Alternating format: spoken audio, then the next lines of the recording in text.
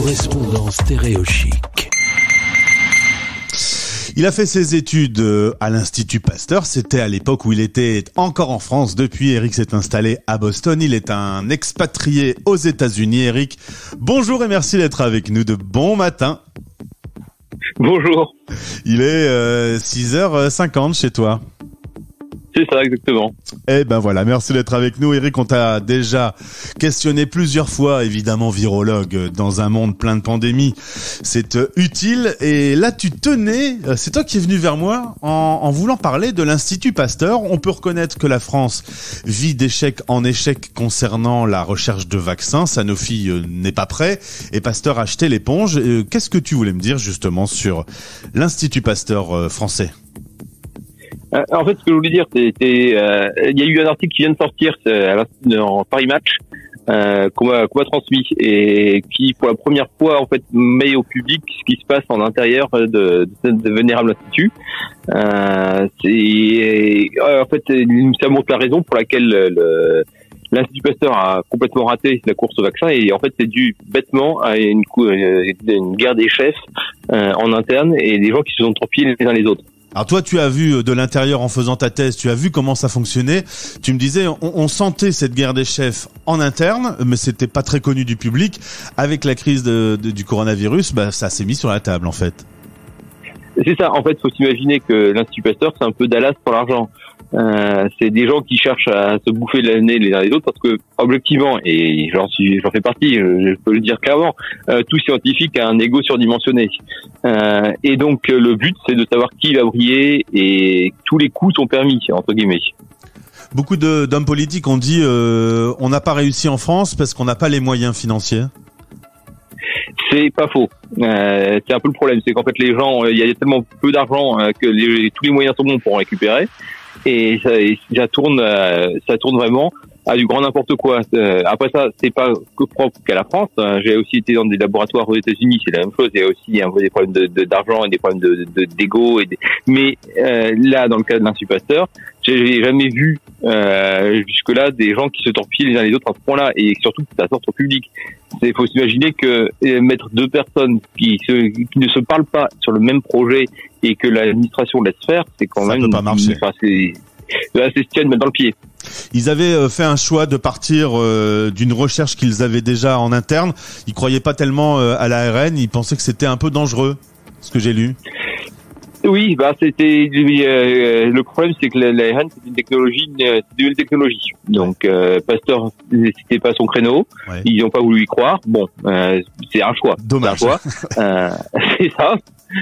Mais après ça, de mettre les, le- les deux personnes sur exactement la même technologie euh, et se laisser euh, courir l'un sur l'autre, euh, et tel que décrit l'article, c'est exactement ce qui est passé. C'est que le- les, les uns les autres, ils se donnaient pas les bonnes données, ils, ils se, les tout disparaissaient. C'est- franchement, c'est une la, la guerre de, de, de jardin des enfants euh, au Ouais. sein d'un Pasteur. Est-ce que, selon toi, il faut euh, profiter euh, de cet échec, parce qu'on peut considérer que c'est un échec, pour réinventer, réorganiser cet institut qui a quand même été, il faut le dire, euh, au firmament de la recherche vaccinale Oui, oui, tout à fait. Alors le problème, c'est que euh, c'est- un problème général. C'est euh, la France, c'est que c'est une, une machine, c'est un, c'est gros gros paquebot qui tourne très difficilement. Ouais. Euh, c'est euh, c'est- c'est- maintenant c'est une instauration. Il y a des gens qui sont. Le problème aussi, c'est que les gens qui sont là sont indéboulonnables. Euh, c'est entre sans être méchants, mais c'est des fonctionnaires, donc euh, euh, il y a aucun moyen de les d'aller contre eux. Alors ça a ses avantages, ça a aussi des inconvénients dans le cas présent. La je Fran- sais pas. Ouais, la- France a, pas réussi. euh, Sanofi a dit, euh, bah, on va y arriver, mais euh, un peu tardivement. Aujourd'hui, alors qu'on sait qu'il n'y a que le vaccin qui va pouvoir stopper le développement du virus et donc arrêter cette pandémie, pourquoi on n'a pas réussi Pourquoi aucun labo- laboratoire n'a réussi? Pense qu'il y a eu un problème d'appréciation du risque. Euh, les gens n'ont pas voulu euh, euh, se lancer parce que le problème du- du- des nouvelles technologies, c'est que ça, mange de l'argent. Ouais. Euh, et donc il faut être prêt à mettre de l'argent sur la table avec le risque de ne pas avoir le retour sur leur investissement. Euh, mais du coup, euh, par exemple, Moderna a raflé la mise. Est-ce que pour les, les patrons de Moderna, pour les actionnaires de Moderna, ça voudra dire des, des millions et des millions qui vont couler dans les robinets dans les prochains mois? Euh, non, alors, pour les actionnaires, d'un point de vue action, oui, clairement, pour eux, ça a été la, ça, a changé la donne, euh, vu que l'action a pris à peu près 6 7% de mémoire euh, en un an. Après ça, euh, surtout pour la euh, pour le, le, patron, oui, clairement, lui, il a rendu ses actions et s'est fait un, un, beau chèque avec ça.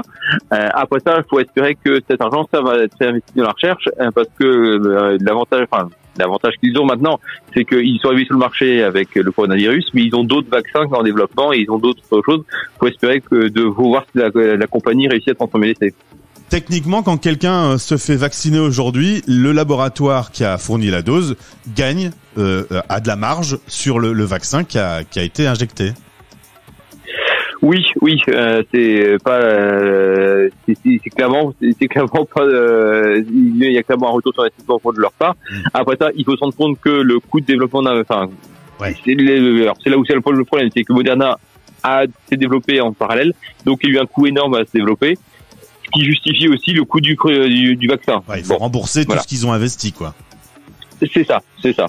Et techniquement, on sait aussi qu'il va falloir euh, qu'on vaccine les pays les plus pauvres. Est-ce que ces laboratoires feront des efforts pour euh, lâcher des doses gratuites pour les pays qui pourront pas se offrir alors le problème de, de oui et non, euh, au sens où Pfizer et Moderna pourront pas parce que leur leur vaccin demande à être garder des températures trop basses. c'est pas c'est pas gérable dans un pays en voie de développement euh, AstraZeneca ou Johnson Johnson, qui sont les deux autres qui ont été acceptés, qui se stockent 4 degrés, eux, on peut, et on peut, a priori, ont signé notamment des accords et des fondations comme la fondation Bill Gates aident à ça, donc donnent des compensations pour les laboratoires qui donnent des doses euh, pour les pour les pays en voie de développement. Donc eux, a priori, ont déjà annoncé qu'ils le feront. Dernière question est-ce que le vaccin chinois ou le vaccin russe sera un jour euh, injecté en Europe? Chinois, ils n'ont jamais communiqué leurs données, donc, euh, pour l'instant c'est non. voilà. Euh, Russe, ils commencent à, à, à travailler avec la, avec l'agence du médicament. Ils commencent à publier leurs données, donc euh, voilà. À partir du moment où ils passent à travers le filtre réglementaire, il n'y a pas de raison de dire non. Bon, on va suivre ça avec attention. Je rappelle à nos auditeurs que tu es virologue et de ce fait, euh, tu as quand même un, avis éclairé euh, sur la question et les paroles ne sont pas jetées en l'air. Eric, merci beaucoup. En tout cas, je te vais, je vais te laisser à ton café et à ton petit déjeuner euh, à Boston. Merci beaucoup. À bientôt. À bientôt. Merci. Salut. Salut. Chic.